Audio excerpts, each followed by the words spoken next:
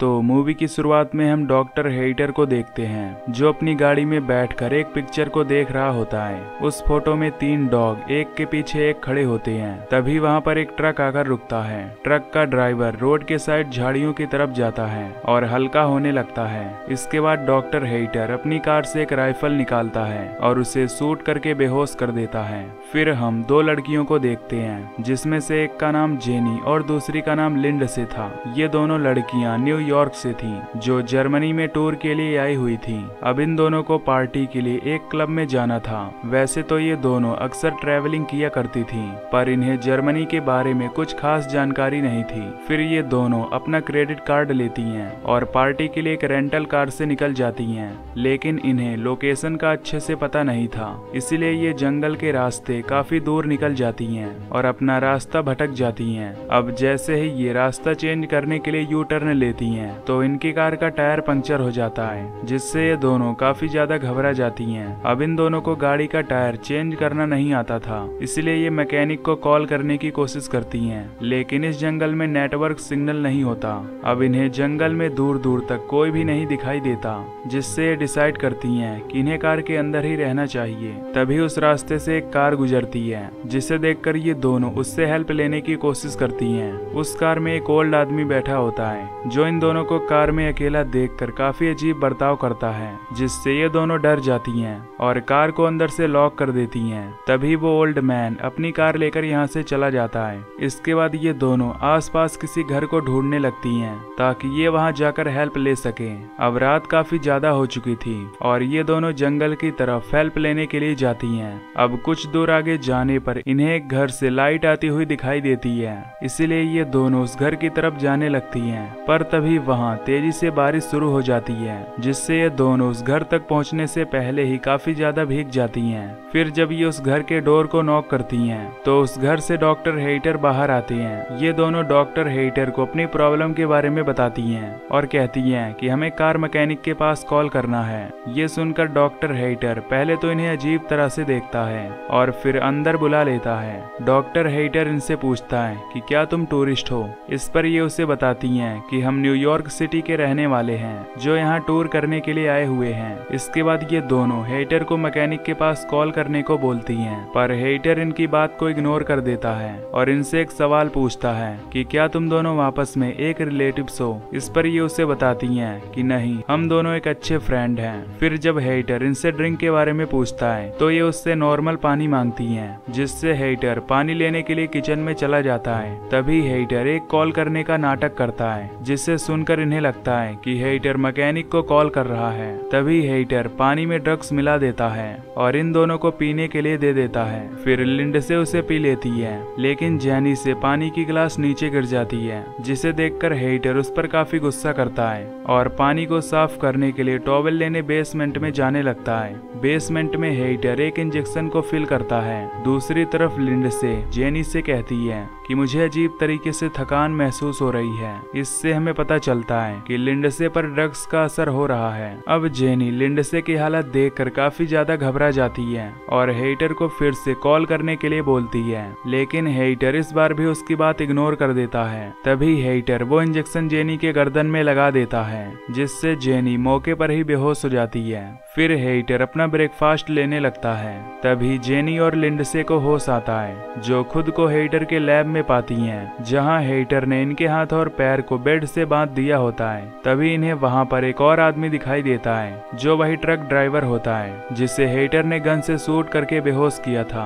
अब वहाँ हेटर आ जाता है, जो उस ट्रक ड्राइवर को कहता है कि अब तुम्हारे मरने का टाइम आ गया है। ये कहकर हेटर उसके बॉडी में एक पॉइजन से भरा हुआ इंजेक्शन इंजेक्ट कर देता है, जिससे वो ट्रक ड्राइवर तड़प तड़प कर मर जाता है। फिर हेटर उस ड्राइवर की डेड बॉडी को अपने गार्डन में ले जाकर दफना देता है। इसके बाद हम देखते हैं कि हेटर अपनी बेहोशी वाली इंजेक्शन से एक जापानीज आदमी को बेहोश करके अपने घर लाता है। फिर हेटर उसे अपने लैब में ले जाता है और इन सबको अपना इंट्रो देता है कि वो एक रिटायर्ड सर्जन है। साथ ही वो इन्हें बताता है कि वो किस तरह से इन तीनों को आपस में जोड़ने वाला है, जिसमें सबसे पहले वो इनके घुटने के लिंगामेंट्स को तोड़ देगा, ताकि ये लोग अपने पैर पर खड़े ना हो पाए। इसके बाद वो पहले इंसान के बैक साइड को दूसरे इंसान के मुँह के साथ जोड़ेगा और दूसरे इंसान के बैक साइड को तीसरे इंसान के साथ ज्वाइंट करके उन्हें आपस में जोड़ देगा, जिससे जब पहला आदमी खाना खाए तो उसका वेस्ट मटेरियल दूसरे इंसान के बॉडी से होते हुए तीसरे आदमी के मुँह में चला जाए, जैसा कि हमें डायग्राम में समझाया गया है। अब ये सुनकर तीनों काफ़ी ज़्यादा हैरान होते हैं, क्योंकि वो डॉक्टर इनके साथ बहुत गंदा एक्सपेरिमेंट करने वाला होता है। खैर, सबसे पहले हेटर उस जैपनीज आदमी को सेलेक्ट करता है, जिसमें वो उसे एक बेहोशी का इंजेक्शन देता है। ये देखकर जेनी ज़ोर ज़ोर से चिल्लाने लगती है, लेकिन वहाँ कोई भी उसकी हेल्प करने वाला नहीं था।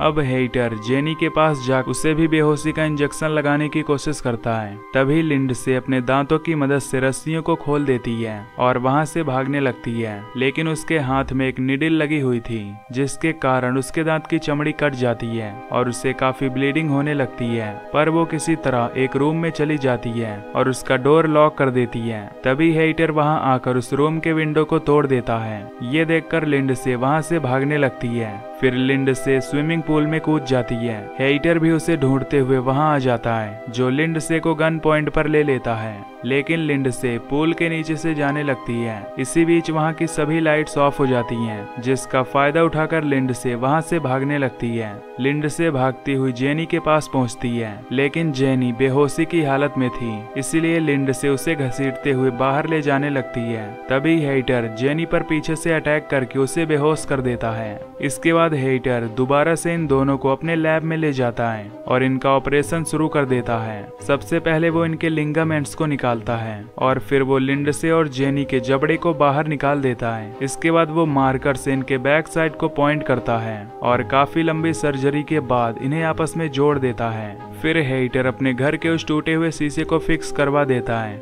अब हम देखते हैं कि हेटर का बनाया हुआ ह्यूमन सेंटीपीड फाइनली कंप्लीट हो चुका है। उन तीनों के जख्म अभी भी ठीक से भरे नहीं होते, पर हेटर ज़बरदस्ती उन्हें खड़ा करने की कोशिश करता है। सबसे आगे वो जापानीज आदमी होता है, और उसके पीछे लिंड से और लास्ट में जेनी होती है, पर हेटर इन्हें ज़बरदस्ती खड़ा करके इनकी फ़ोटोज़ लेने लगता है। फिर वो इन तीनों को मिरर में दिखाता है, जिसमें ये लोग अपनी हालत देख कर रोने लगते हैं। फिर हेटर शेर इन्हें पिंजरे में बंद कर देता है और इनके साथ जानवरों जैसा बिहेव करता है। अब काफ़ी दिनों तक ऐसा ही चलता है, जहाँ हेटर उस जैपनीज आदमी को एक कुत्ते की तरह खाना देता है। तभी वो जैपनीज आदमी मौका पाकर हेटर के पैर को काट लेता है, जिससे हेटर गुस्से में उसे बहुत मारता है और कहता है कि अगर तुमने दोबारा ऐसा करने की कोशिश की तो मैं तुम्हें बुरी तरह मार डालूँगा। इसके बाद हेटर इन्हें ग्राउंड में ले जाता है और इनके साथ बुरा बर्ताव करता है। तभी जैपनीज आदमी को तेज़ी से वॉशरूम वॉशरूम लगता है, जिससे वो अपना वेस्ट छोड़ने लगता है। फिर वो वेस्ट लिंडसे के मुँह में चला जाता है और लिंडसे को मजबूरन उसे निगलना पड़ता है, जो कि इस मूवी का काफ़ी घिनौना सीन होता है। अब एक दिन हेटर इनका चेकअप करता है, जिसमें उसे पता चलता है कि वो जैपनीज आदमी ठीक है,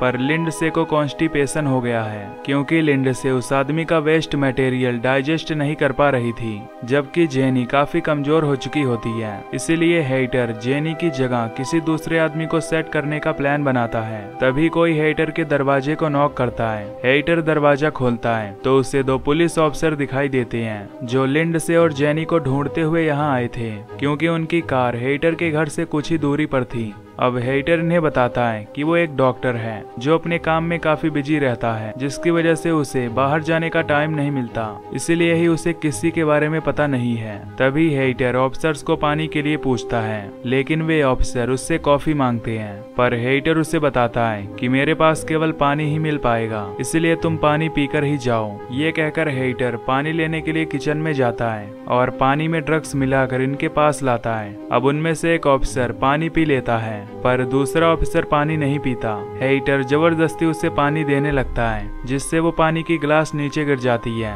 फिर हेटर टॉवेल का बहाना लेकर अंदर जाता है, जहाँ वो अपनी बेहोशी के इंजेक्शन लेकर वापस आता है। लेकिन तभी वो ऑफिसर उसके इंजेक्शन देख लेता है, जिससे हेटर अपनी सफ़ाई देते हुए कहता है कि ये इंजेक्शन मैं खुद को लगाता हूँ, क्योंकि मुझे डायबिटीज़ है। ये सुनकर वो दोनों ऑफिसर यहाँ से चले जाते हैं। अब हेटर अपने लैब में जाता है, जहाँ उसे ह्यूमन सेंटीपीड नहीं दिखाई देता। तभी वो जैपनीज आदमी हेटर के पैर में एक नाइफ घुसा देता है, जिससे हेटर नीचे गिर जाता है। फिर वो हेटर के गले को काट लेता है और यहाँ से जाने लगता है। इसके बाद ये तीनों ऊपर जाने की कोशिश करते हैं। अब काफ़ी ज़्यादा घाव होने के कारण ये तीनों ऊपर नहीं जा सकते थे, पर ये किसी तरह ऊपर जाने की कोशिश करते हैं, जिससे इनके सर्जरी वाले हिस्से से ब्लीडिंग होने लगती है। लेकिन ये किसी तरह ऊपर आ ही जाते हैं। हेटर भी उठ खड़ा होता है और इनका पीछा करने लगता है। इधर जैपनीज आदमी उसी रूम में पहुँचता है, जिसका शीशा टूटा हुआ था, क्योंकि इन्हें नहीं पता होता कि हेटर ने ग्लास को चेंज करा दिया है। इसके बाद जैपनीज आदमी उस शीशे को तोड़ने की कोशिश करता है, तभी उसके सामने हेटर आ जाता है,